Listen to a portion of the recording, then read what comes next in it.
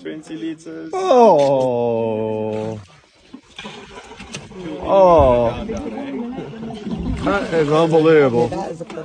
He leaves a little bit behind just because he's missing those prehensile fingers. He can't close the trunk, so he drops some of.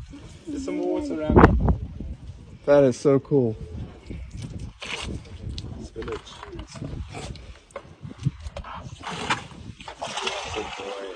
Thank God there's no alcohol in there. He'd be Okay, drunk. take a listen to this. It's like a